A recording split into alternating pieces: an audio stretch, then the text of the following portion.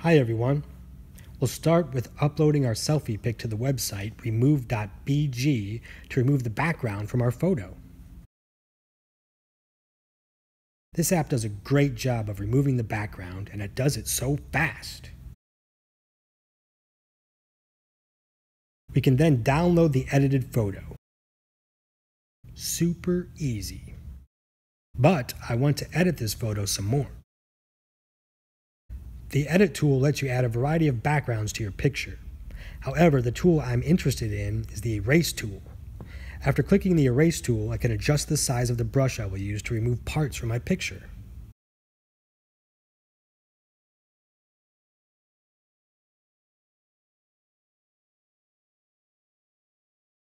Zoom in close to erase around these edges.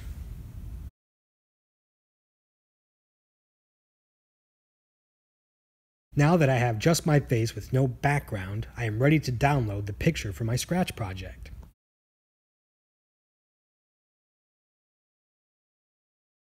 I will start by adding a new sprite to my project. Scratch provides a lot of cool characters and items for sprites. I'm going to select this person here because I like their shirt. And then I will get rid of the cat sprite for now. Peace out, kitty. Code can be assigned to a single sprite, and so can costumes. The sprite's costumes have different poses and expressions, which can be used to animate the sprite with code. But first, I'm going to upload my own costume to add to this sprite. And there is my beautifully edited selfie. I like to click the convert to vector because it makes it easier to edit the photo. After that, I'll select this big old head to copy and paste in one of my many costumes.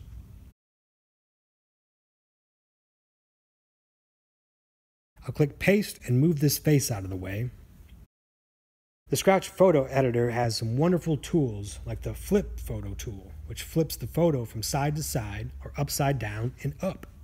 That's a really good angle for me, so I'm going to shrink that face to better fit the sprite character. Just like we removed the background from my selfie, we can use the Scratch Editor to erase parts of the sprite costumes.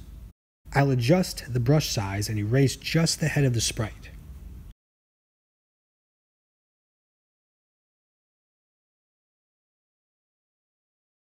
After a little more adjusting, I can connect my face to the sprite.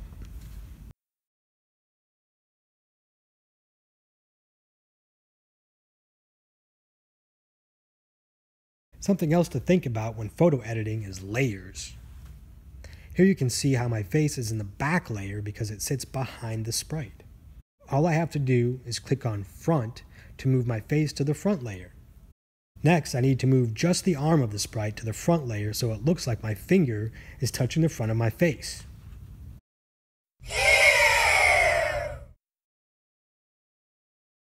So now we can begin to plan some animation by moving from one costume to another. Alright, I'm getting funky with it there. Next, we will leave the sprite and costumes and select a background for our project in the stage area on the bottom right of the screen.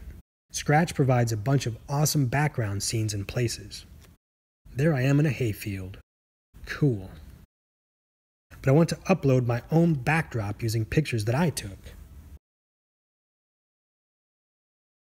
This library makes a good backdrop for my project. So I'll head over the Scratch Photo Editor to adjust the backdrop.